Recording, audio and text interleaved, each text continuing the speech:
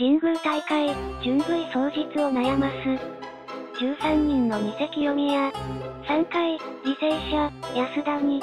第47回、明治神宮野球大会第5日派。15日、神宮球場で、高校の部の決勝が行われ、怪物スラッガー、清宮幸太郎内野手、2年、を、要する双日、東京、派、履正社、近畿、26、11で、逆転負けした。履正社は初優勝。清宮は高校通算76号の、ソロ本塁打を含む、3打数2安打2打点2四死球と、存在感を発揮したが、頂点には届かなかった。早日は、選抜出場も確実にして、甲子園での、リベンジも期待されるが、その裏で学校側は暗躍する。13人の偽清宮に、頭を悩ませている。怪物の一発をゴングに、ノーガードの、殴り合いが幕を開けた。早日は初回、清宮が右翼へ、高校通算76号となる、先制のソロ本塁打。履正社もすぐに同点とし、乱打戦を予感させる。両校の打線が、火を吹いたのは3回だ。履正社が、西のスラッガー、安田久則、2年、の、3ランで逆転すると、早日はその裏に、打者一巡の猛攻で、一挙5点を奪って再逆転。すると4回には、履正社打線が大爆発し、7点を奪って試合を決めた。清宮は、3打数2安打2打点に四死球と、気を吐いた。それでも頂点には届かず。もちろん、優勝を目指して戦ったんですけど、力負けしてしまったかな。という感じ。上には上がいる。逆にここで優勝ではなく、準優勝で終わることで、さらに成長できるきっかけにも、なったかなと思う。一冬越えて、またもっと強いチームにしていきたい。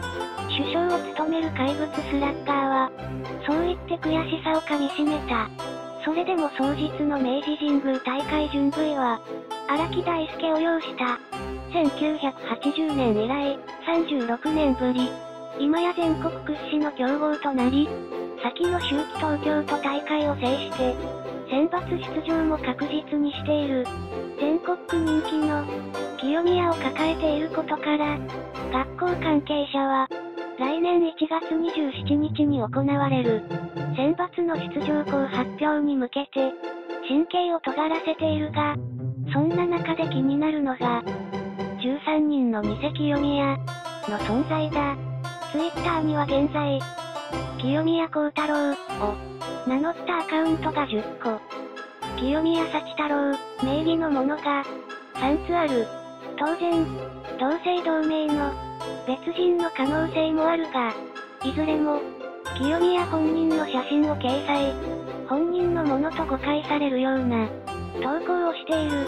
早日の深海広報によると、早日野球部で、ツイッターの使用は、禁止されていないものの、部員の多くが、鍵をかけて、外部から見られない、設定にしており、清宮自身はやっていない。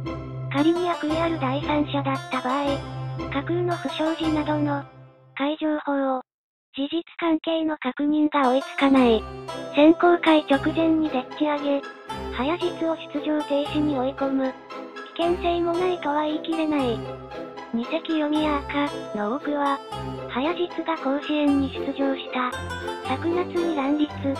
最近は更新されていないものが多く、目立った動きは少なかったが、新チームが始動した後の、今年10月に新設された、アカウントもあり、清宮の注目度が高まるにつれて、さらに増加する可能性が高い。内容は練習や甲子園の話など、たわいのないものがほとんどだが、中には堂々と、アンチ清宮を歌うものや、このアカウントは、自分のではないので、気をつけてください、と、他のアカウント画像を掲載する。悪質性の高いもの、なぜか、鍵をかけているものまで、出したようだ。ネット上での、なりすまし問題に詳しい、浅見隆之弁護士、41、は、現時点で、法的措置を取ることは難しい、と話す。具体的な罪状としては、名誉毀損、肖像権の侵害が、挙げられます。肖像権については、近年高野連も、厳しい対応をとっている。ただ、今までの判例から言うと、アカウントを運用しているだけでは、罪には問えず、あくまで Twitter の、規約違反に過ぎない。Twitter の性質上、不正アクセスにも当たらないし、当然、同姓同名の人物の可能性もありますから、不利益が生じて、初めて訴えられるというのが、現状です。前室の新海広報は、ネット上のなりすましは、清宮くんに限らず、生徒全員が、トラブルに、巻き込まれる可能性がある問題。当該アカウントは、常時監視していて、何度か警告も言っています。Twitter 社に、削除要請もしていますが、いたちごっこというのが、正直なところ、他の部員にも、なりすましアカウントの、存在を伝え、相手にしないよう、注意喚起はしています。と話し、場合によっては、事前に高野連に、なりすましアカウントの存在を、通達しておくことも、視野に入れているという、選抜出場目前の、早実に振ってはいた。二席読みや、騒動、怪物二度目の、甲子園出場が確定する。来年1月27日まで、学校関係者は、気を揉むことになりそうだ。